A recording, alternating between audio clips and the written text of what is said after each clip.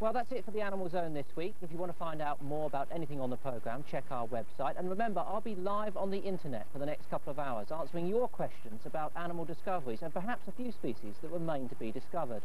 Next week, we're coming from California, where Simon King investigates life between the tides. And our natural world comes from Vancouver Island, where it focuses upon the intertidal zone there.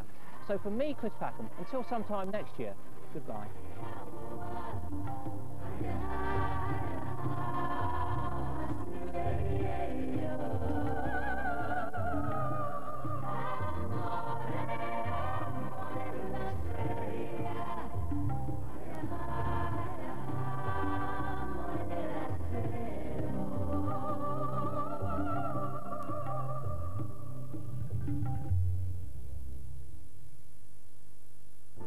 Filmed over three years, the Wildlife Specials reveal six secret lives. So here, for the first time, is a full picture of that most massive and formidable of hunters, the polar bear.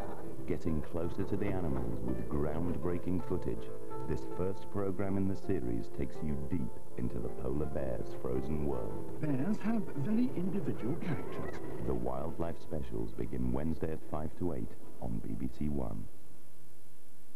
Entertainment with added value over on BBC One now. Hugh Scully presents the Antiques Roadshow.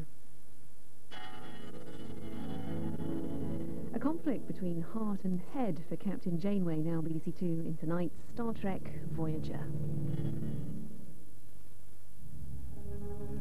Captain's log, stardate 50063.2.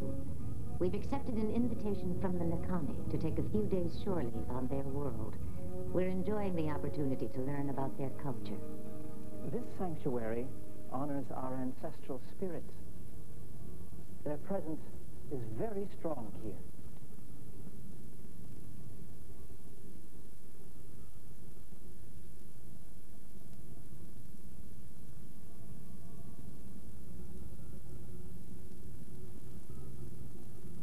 Those are brothers of the Nechisti order.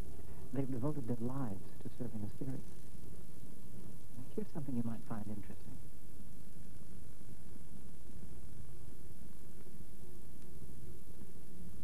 What do you think this means? Hard to tell.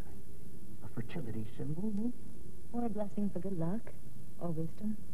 Or happiness and love. Do you hear something? What?